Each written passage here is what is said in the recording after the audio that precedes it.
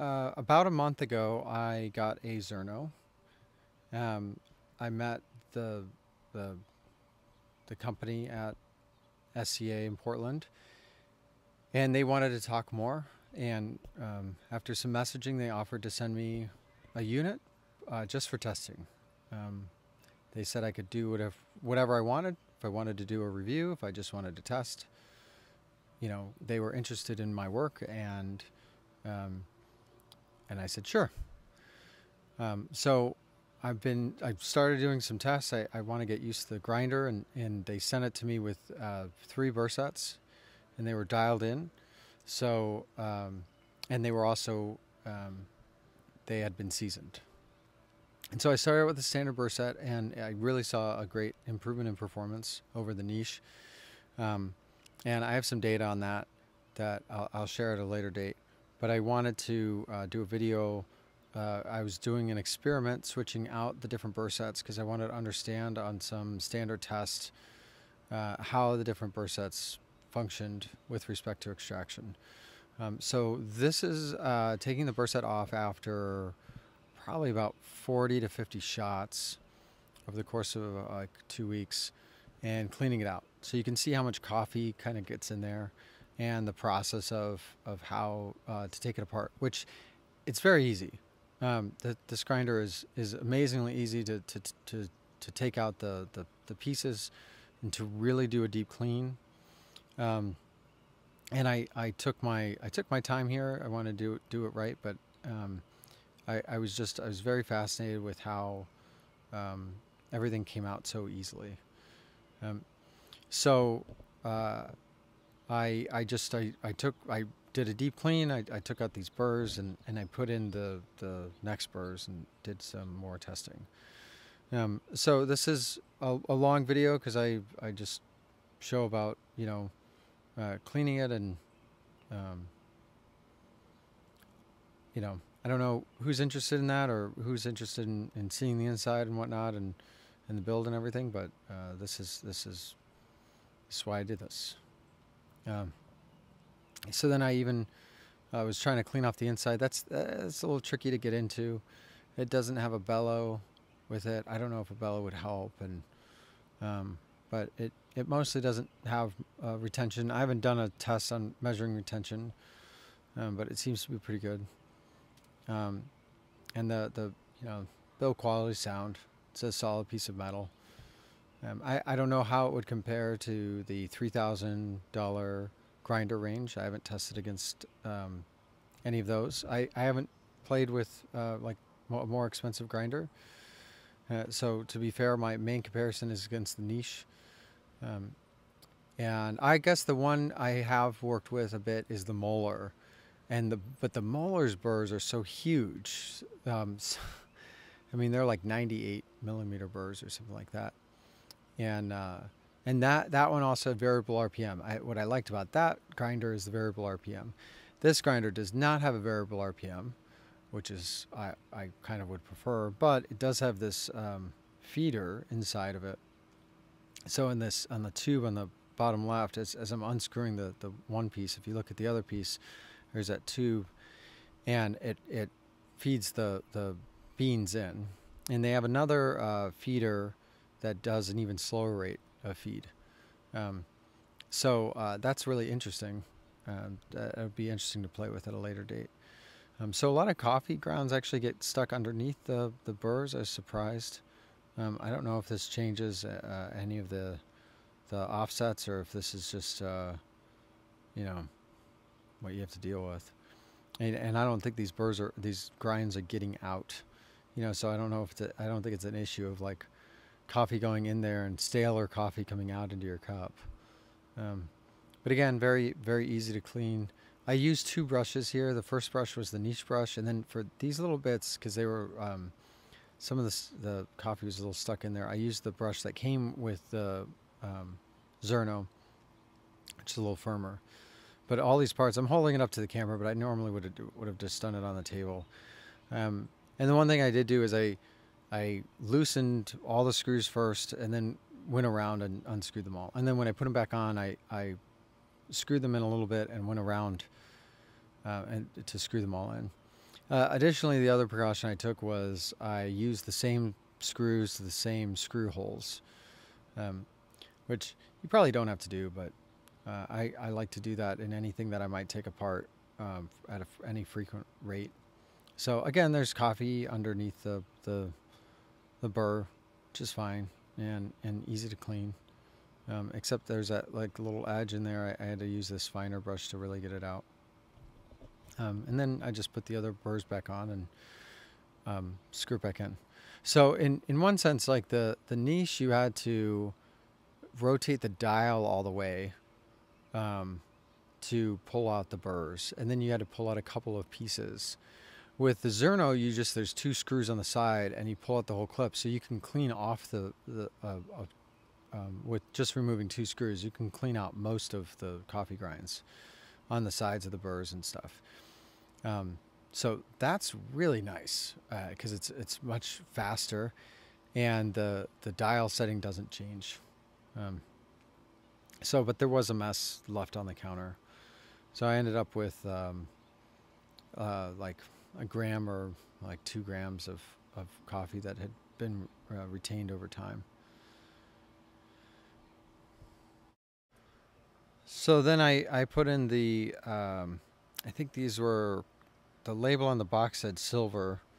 They're the silver SSP burrs. Um, and they, they, even though they're red, but a slightly a similar art um, design um, to the um, the burrs that came with it, which I, I think were uh, these must be multi-purpose.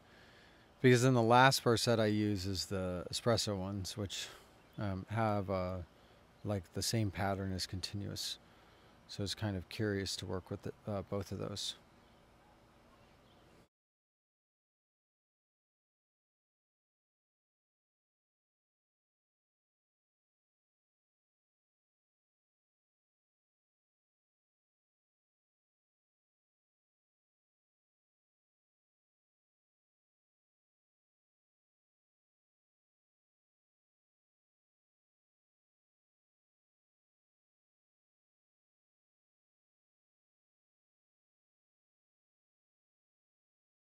So I sped up some of that um, just in case people wanted to watch it.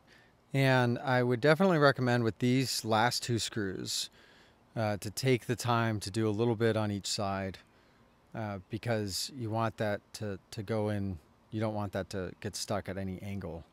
Um, that's really key to, to bring it forward because it's pushing on a spring between the burrs to, to, to keep them set up. Um, and then it's uh, then it's all set and then I, I measured the the coffee grounds after I you know I, I don't feel like you have to over tighten them or anything. Um, and I, I didn't even calibrate the Zerno because part of their deal is that they they're really good at calibration and they pay a lot of attention to calibration. So that's the mess that I was left behind. Um, which is okay. I, I just just cleaned it up and measured it weighed it and um, it uh, goes to speak about how messy my counter is. But um, whenever I see those photos of people showing their coffee setup and everything is clean, I'm like, that's because you just finished making a coffee. Like, show me your coffee setup after you've pulled a shot of coffee. That's what I want to see, you know. Um,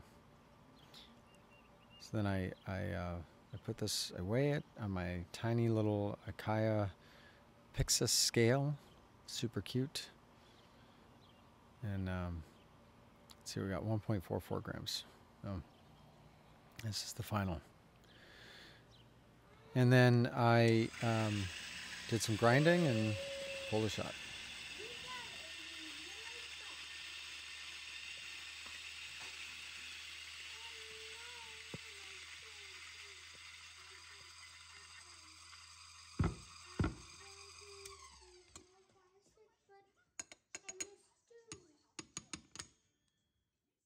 Okay, so then I pulled three shots. I did three settings. I did 100 microns, 200 microns, and 300 microns.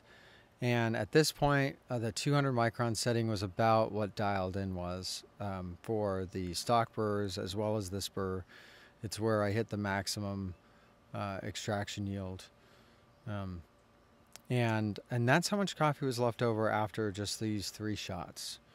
Um, or I think I pulled one extra shot. I did three experimental shots and then I, I pulled my actual Robusta shot for the day. And I sped this video up just, you know, because I've seen this before and pull this off and there isn't too much coffee there, but um, it goes to show what, what what's going on. And then I, I'm, I'm just going to be, be quiet for a minute. If, if you care, you can watch this. If you don't, you can fast forward um, to uh, when I I put the new burrs on.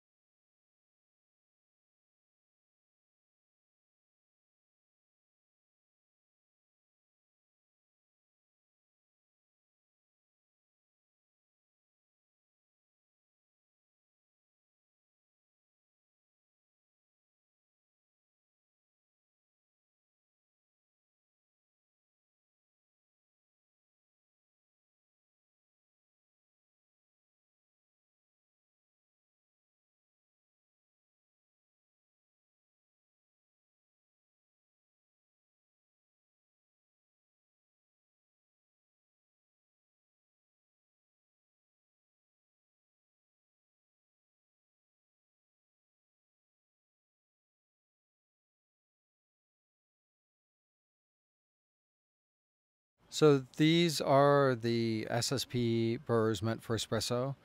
Um, they're not the ones, the other set of burrs uh, where there's this the the blind burrs. They're not those. Be curious how the blind burrs would be different. Um, and the the the ex this experiment is doing three different grind settings um, for each burr set and for each grind setting, pulling a shot and doing a salami shot. So I look at the 1 to 1, the 1.5 to 1, and the 2 to 1. And then additionally, I'm, I'm looking at particle distributions to better understand how uh, are, are, you know, are the particles being greatly distributed across burrs and how are the particle di distributions shift and then um, what do the uh, how do the shapes change across burr settings yeah, because it's burrs change could change the the size, but they it could also be changing the shape too. Um, so that that's really important in, in how ex, uh, this espresso or coffee in general is extracted. So I screw it back on and and we are good to go.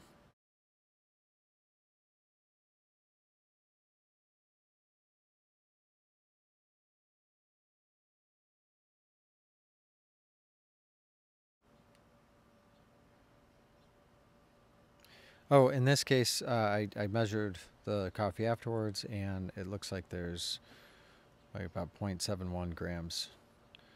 Um, and then I uh, do my coffee routine here. Someone asked me to do a recording of how I did my shot prep.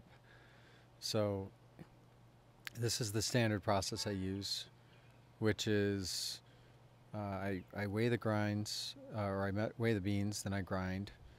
Um, and then I'll weigh them again to check. And I've been on the Zerno the past month. It's been an interesting machine. The workflow on the Zerno has been pretty good, but it's still, there's a little bit of mess because of the static and that even occurs when I'm spraying the coffee beans with a little bit of water. Um, I don't mind because ultimately I, I care about the cup, and I haven't seen a grinder that doesn't leave a little bit of, of, of a mess that slowly accumulates after quite a few shots. Maybe I'm just more used to having a coffee mess on my counter between coffee grounds and um, splashes from the shot. Um, with the Zerno, you, you detach that and knock that off. I, I don't particularly like that aspect of it, but um, it's a minor complaint. I'm most interested in the grind quality, which has been really good. Um, so I do a staccato tamp which is where you dose half the coffee and then you distribute and tamp half, and then you do the second half. And I found that that does better than um, distributing the, the whole dose in tamping. Um, and I think I can also simulate some of what happens in a staccato shot, a, a sifted staccato shot, where the uh, coffee at the bottom layer is a bit denser than the, the top layer.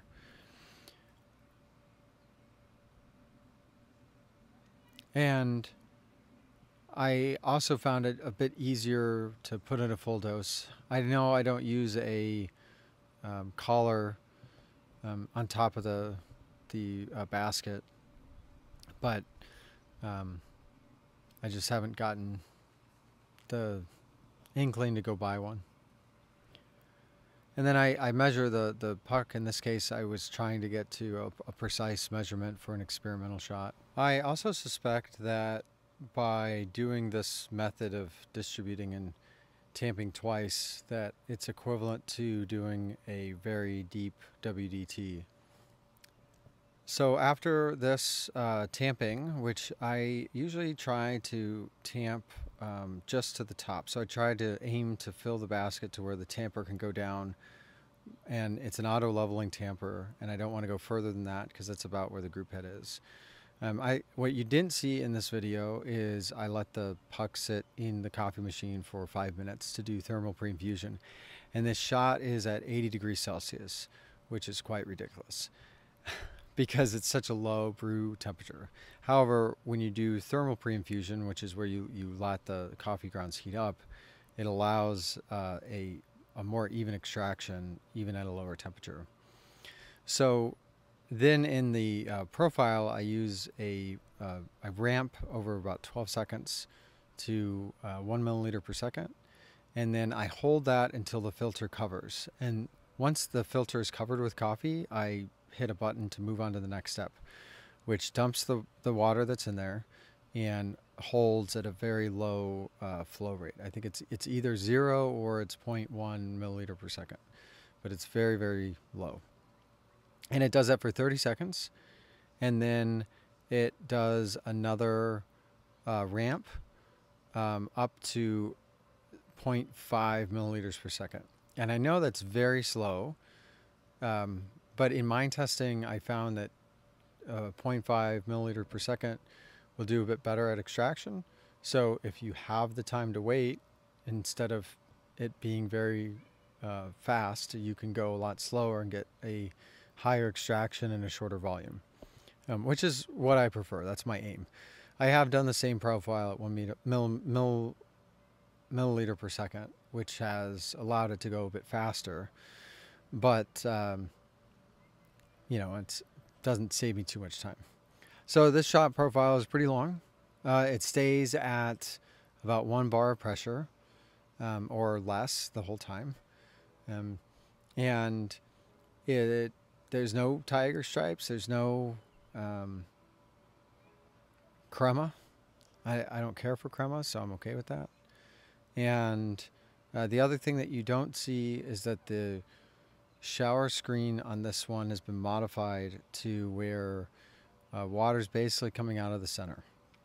And if you slammed a puck with water just from the center of a shower screen, you would get some deep channeling in the middle of the puck. However, because of the thermal pre-infusion and the slow ramp, um, it does not cause a channeling effect. Because once the um, filter basket is filled with water, then uh, adding more water once you're once it's pressurized uh, causes just water to flow evenly. It doesn't cause uh, issues with um, water uh, channeling. So this this shot ended up being in the like the 20% range of uh, TDS and uh, extraction yield.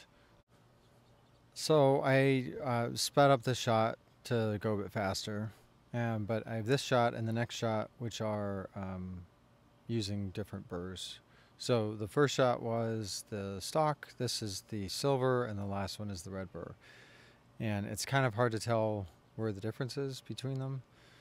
And it, it turns out from an extraction point of view they, have similar extraction. Um, but I didn't measure uh, taste in these experiments. Um, they, they were strictly looking at uh, extraction yield.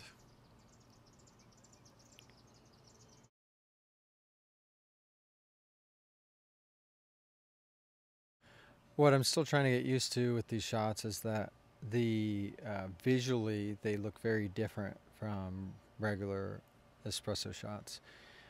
And I, think this is a good time to talk about definitions because we say we have this definition of espresso that comes from uh, Italy, which is a very strict in terms of the amount of pressure you use, the time for the shot, uh, the the input amount of coffee, the output, um, and it, uh, it it's not been what espresso in third wave coffee has been for a while now. There's been a lot of different profiles that are done, and uh, now really uh, you use lower pressures, you vary the temperature, you vary the dose. A lot of the standard dose is much higher. You know, my standard dose is like 22 grams or 22 and a half grams in a waffle basket.